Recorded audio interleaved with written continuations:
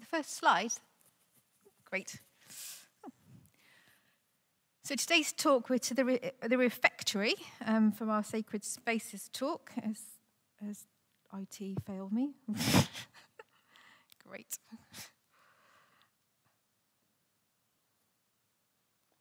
Nope, I'm going to have to wing it without my notes. so, um, so the, the idea today is to know where we are with the refectory, and um, so we're going to start off by identifying where we are, and then we're going to have a look at the Bible verses from memory. Then we're going to see about doing what we can do now, and then we're going to do some next steps.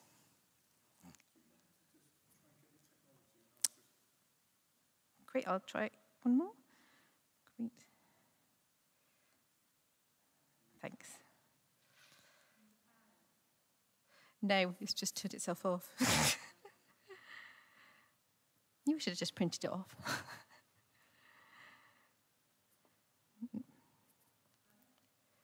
now I'll try one more go.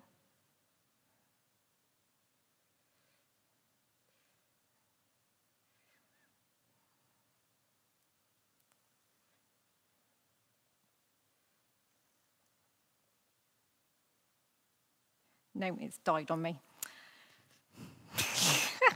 Well, here we go. Um, so if you go to the next slide, that'll give me some hints and tips. so yeah, so here we are in um, the seven sacred spaces. Um, it gives us a good overview of where we can look at ourselves in um, the church itself, where we sit in the community, and how we can identify how our life is in balance or not in balance at the moment. We've got, oh good, I can see up there. Yeah, so the, the seven sacred spaces are refectory, library, cell, chapel, chapter, cloister, and garden. And today we're looking at refectory. So if you move to the next slide. Yeah. So the first thing is, what is a refectory? As I found out when I went to university, it is a room used for communal meals in an educational religious institution. When I found that somebody said, oh, I'll meet you in the refectory. And I go, what's a refectory? And then they, and I went, oh, you mean a canteen? And then they looked at me very funny. so the word refectory uh, comes from late Middle English, um, from Latin refectorium, um, and it means to refresh or renew. Um, so it's, if you think about the monks, they were out in the garden, they were working really hard, they were getting exhausted, and they needed to be refueled. So they would come to a refectory to eat and um, refuel for the next day. Um, monasteries wasn't all about that hospitality. Some monasteries, as um, Peter indicated last week, also had hospital wings. So they would provide um, uh, medicine and um, time to be able to recuperate. And they would also have sometimes, they were the, the guest houses of Europe. Um, so you'd have people visiting and providing hospitality to guests as well as the monks themselves we try the next slide. So if we look about what the Bible says about this, there's several um, verses in the Bible that um, identify hospitality as a key thing. It's not an added extra, it's part of our um, Christian life. So it was show hospitality to one another without grumbling. And there's another verse in Titus which says the overseer must be hospitable. And in Hebrews, it tells us not to forget hospitality to a stranger. We've also got hospitality showing up in the Old Testament too. So um, from, from the work that I looked at on the internet, um, hospitality in the Jewish culture at that time was just embedded in it. It wasn't added extra. Um, the Jews were, there was a nomadic people, so you were expected to provide hospitality to your guests when they turned up. Um, not only that, is that there was sort of a there were rules that sort of people was, were to follow. So if you were a guest, you were not to eat your host out of house and home. You were supposed to leave enough for them to also eat. And for a host, you were supposed to provide meal, and it was um, your responsibility to look after your guests and protect them. So it was quite there was a quite good, clear picture of how that hospitality was provided. which is unlike today because sometimes you can go to somebody's house, um, sometimes you need to take your shoes off, sometimes you don't need to take your shoes off, sometimes you're expected to sit down and nicely quiet into the corner, sometimes you're supposed to get up and get involved.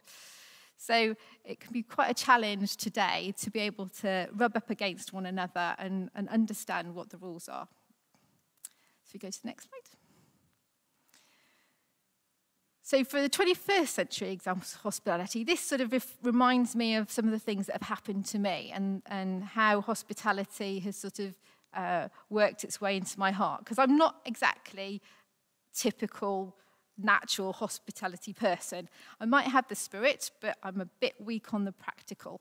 If all the other ele elements of those um, sections of the pie chart are all nicely in balance, I can get my house to a fit state where I can let people in. otherwise, otherwise, I need some help, and this is how I get help. So there's New Wine and Spring Harvest. They're Christian um, uh, conferences that go on, and this church has gone to both of those in the past. And what I've found great about that. It's not just the good teaching that you get, but it's the time that you can spend with your brothers and sisters in Christ as part of the church. And we'd eat together. So with new wine, you're camping, you're picnicking with Spring Harvest. Um, there's times where people would invite you over to their chalet to have a nice cup of tea and biscuit in between the, the sessions, or you could go to the restaurant area and eat with people. So that was a, a really good time of getting to know people. Um, the little picture of the tree is the lockdown hospitality that me and my friend have. Um, when we were allowed to meet outside, we'd get our camping chairs and our thermos flasks and go off into the, the orchard at Langford and we'd sit a nicely distanced apart and catch up with each other and pray. So there are ways around this time in lockdown that we can also um, provide hospitality to one another. The other thing is our Bridge Cafe, which is um, we are able to open our doors to the community and ourselves to create that community spirit, to be hospitable. It could be that you just buy somebody another cup of tea or a cup of coffee out there. And the fish and chips reminds me of when Dora, um, our beloved one of our beloved founder members, um, elderly, couldn't see very well, couldn't hear very well. She wanted to do hospitality. So what I did was I joined together with her. So we decided to do what was feasible, not perfect. It's not perfecting hospitality, it's practicing hospitality, how to get better. So we'd have one person providing the fish and chips. Um, I'd get there a little bit early because Dora was hosting, because it was her home. And I'd put everything together, I'd get the condiments out, I'd put the plates out. And we would have just normally two people visiting at a time. And that was great because Dora couldn't hear very well, she couldn't see very well, so it wasn't about having loads of people around, it was about having just a couple of people and catching up with them. And that worked really well because we were doing it together as part of community. So that, I think that's what I'd encourage out of this slide, is find somebody you can get together with. It's not all on your shoulders. You don't have to do everything. It doesn't have to be perfect. Can I have a next slide, please? So we sort of get to the fact that what can we do now next? So the key thing for me is to find out how your, house, how, how your life is in balance. Is God putting a particular element on your heart? Is there a particular sacred space that has come to mind? So if you remember the first slide that I showed up was Ian's artistic creation from week one with his sacred space being around his table. Is, is hospitality the focus for you at the moment? Or is it potentially the garden? Is it work? Is it something that you need to do at work to be more hospitable in work? Is it taking the time to listen to a colleague or co-worker to, to it being more than just turning up to do a job? You're there as another human being. Has any particular person come to mind? Again, we had earlier this morning, they were talking about, do you want to phone somebody? Is there somebody that you want to phone? Just pick up the receiver or yours and press the button. We've had other things that we're going on. Um, Erica mentioned this morning the food bank and the food larder. Is there something stirring up within you that would, would call you to that type of ministry, to join in with that? And is that sacred space really calling to you at the moment? Our reading this morning was about um, how this lady responded to Jesus. So the key thing for our Christian life is how do we how are we hospitable to Jesus? When we give him the keys to our life, are we inviting him in as a guest or are we now a guest in his home? We've asked him to take control, him to take the lead. Is he the one who's coming into our lives?